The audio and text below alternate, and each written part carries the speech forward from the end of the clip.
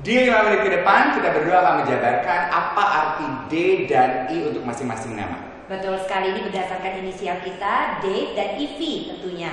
Karena tentunya ada banyak sekali sifat-sifat yang berhubungan dengan inisial nama kita. Seperti kamu, D. Impressive untuk Baru kamu. ngomong kamu. Aku impatient ya. Iya, iya, iya, iya. Impressive. Uh, penting sekali uh, kalau ketemu Ivi, kenal Ivi, Ivi itu orangnya impressive, langsung mendapatkan kesan baik. Hmm, terima kasih. Kesannya ya, padahal dalamnya belum cencil. Intuitif. Oh iya, intuitif. Oh, cepet banget sih. Kamu tuh orangnya sangat intuitif. Lu tuh sangat uh, in tune dengan intuisi hati lo. Uh, jadi lu tuh sangat uh, peka gitu. Suami saya beberapa kali berbohong pada saya, saya sudah bisa mengetahuinya. Nah, itu karena saya intuitif. Betul sekali apa yang dikatakan. Deep. Dave itu sangat dalam orangnya. Mungkin kalau dilihat dari tampilannya orang tidak menyangka bahwa dia adalah seseorang yang sebetulnya dengan pemikiran yang sangat eh, analitis. Kemudian orangnya itu kalau misalnya merangkai kata tuh bisa sampai ujuk-ujuk ke hati. Pokoknya orangnya deep banget pemikirannya maupun sebetulnya apa yang dia ucapkan. Kemudian dynamic, Dave itu dinamis banget. Dia berteman dengan uh, uh, sosialite bisa, dia berteman dengan rakyat jelata maupun jelitur bisa. ya, dia berteman dengan siapa pun bisa. Pokoknya dia di segala uh, apa ya komunitas bisa. Ya. Intelligent. Oke. Uh, intelligent itu setingkat di atas cerdas dan pandai. Ya kan, gue gak ngerti padanan bahasa Indonesia-nya apa. Tapi I untuk yang intelligent. Hmm. Important. Important kalau kamu daring. Aku? Kamu tuh daring, dirful banget tau gak sih orangnya? Intense. Uh, lo yang gue kenal itu uh, intens. Kalau ngapa-ngapain tuh uh, uh, intens gitu. Jadi kalau lo lagi uh, sangat cinta dengan dunia public speaking, public speaking to the itu core. itu tidak beda sama kamu yang sebetulnya very determined. Oh, iya, iya, iya. Kekeh jumekeh. Pokoknya kalau sudah mau sesuatu itu akan dilakukan dan dicapainya. Lanjut. Imaginative. Aduh, ya. Aha, ya.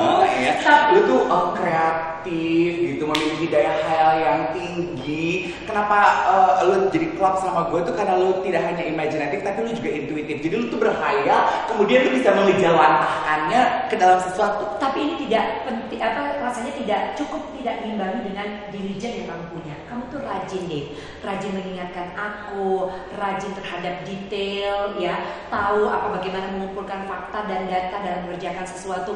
Kamu tuh orangnya sangat rajin dalam mempersiapkan, dalam bekerja, pokoknya luar biasa. Udah gitu, Dave itu adalah orang yang kalau kita lihat gayanya dope ya, tahu kan? You know what dope is? You know, you know, dope tuh kayaknya keren banget. Lihat dong, dari ujung rambut sampai ujung kaki selalu masa kini.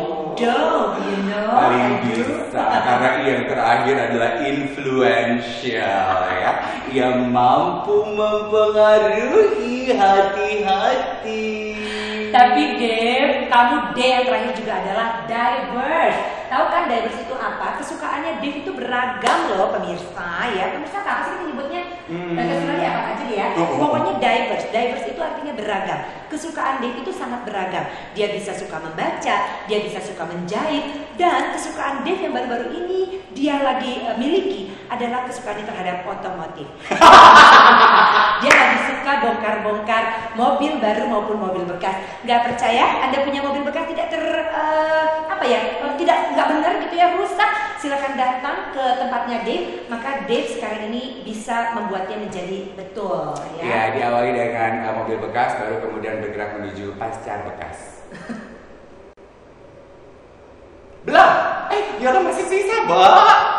Eh, I lagi. Hmm. Eh, eh, eh, D lagi, D lagi, darling. Oh tadi dar- darling. Iya kurang berarti. Enggak, enggak, enggak, enggak. Kamu belum nyebut aku darling. Oh, kamu udah dong tadi. Daring. Oh itu daring. Oh, oh, Darling. beda.